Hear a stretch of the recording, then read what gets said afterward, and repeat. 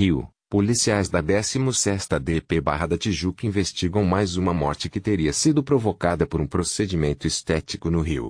De acordo com as primeiras informações, a vítima, uma modelo de 24 anos identificada como Maiara Silva dos Santos, teria feito as intervenções na última sexta-feira, quando realizou procedimentos nos glúteos e nas coxas, além de ter retirado gordura do abdômen. Ela passou mal ainda na sexta, quando estava com uma amiga, e morreu. Leia mais segundo amigos. Maiara tinha acabado de retornar ao Brasil vinda da Dinamarca. Ela tinha uma cirurgia plástica marcada para esta terça-feira no hospital. Porém, ela teria se encontrado com uma pessoa que a teria convencido a realizar os procedimentos a um custo muito mais baixo. O caso foi registrado por parentes e amigos da vítima nesta segunda-feira.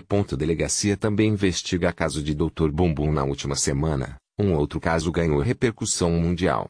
O médico Denis Cesar Barros Furtado, conhecido como Dr. Bumbum, foi preso acusado pela morte da bancária Lilian Calisto, de 46 anos. O caso também foi registrado na 16ª DP, onde investigado. O médico foi detido na última quinta-feira, acusado de realizar o procedimento que causou a morte da bancária.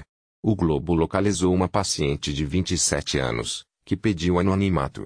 Ela conta que ficou traumatizado e precisou procurar um psiquiatra depois de três consultas no apartamento do médico, na Barra da Tijuca. Em uma delas, ele teria afirmado que a paciente iria desenvolver um câncer.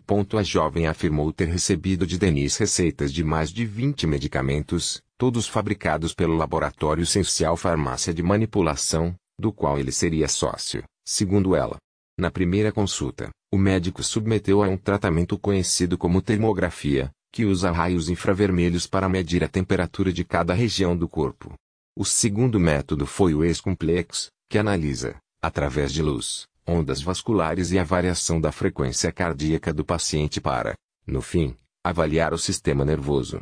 Ao encerrar o exame, Denis decretou que a jovem desenvolveria câncer no esôfago.